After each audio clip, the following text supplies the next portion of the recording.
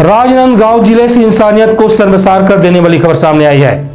यहाँ एक नवजात बच्चे को किसी ने शिवनाथ नदी में फेंक दिया था। उसके सिर पर चोट के निशान पाए गए हैं। वहीं खून के भी निशान मिला है।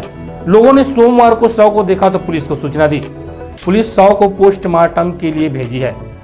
मामला लालबाग थाना क्षेत्र का है। जानकारी के मुताबिक ग्राम भोती निवासी कुछ ग्रामीण सोमवार को नदी में नहाने के लिए गए थे।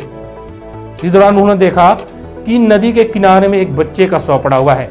इस पर उन्होंने पुलिस को सूचना दी। पुलिस ने शव का पोस्टमार्टम कराया। वहीं इसे लेकर के मितानीन और स्वास्थ्य कर्मियों से जानकारियाँ जुटाई जा रही है। तीन दिन में यह दूसरे नवजात का शव मिला है। ज़िले के गोकुल नगर क्षेत्र में मुक्तिधाम में भी 28 जनवरी को नवजात बच्चे का शव मिला था। वह लड़की का था। किसी ने उसे कपड़े में लपेट कर मुक्तिधाम में छोड़ दिया था। सुबह जब सफ़ाई कर्मी दीदी झाड़ू लगाने पहुँची तो उन्होंने देखा कि कपड़े में लपटा हुआ एक बच्चा पड़ा है।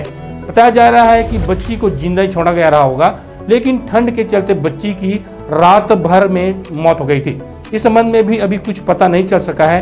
पुलिस दोनों ही मामले को गंभीरता लेकर के जाँच कर रही है। छत्तीसगढ़ की सभी खबरें देखने के लिए देखते रहिए छत्तीसगढ़ एक्सप्रेस न्यूज़। सब्सक्राइब करें और बेल आइकन दबाना ना भूलें।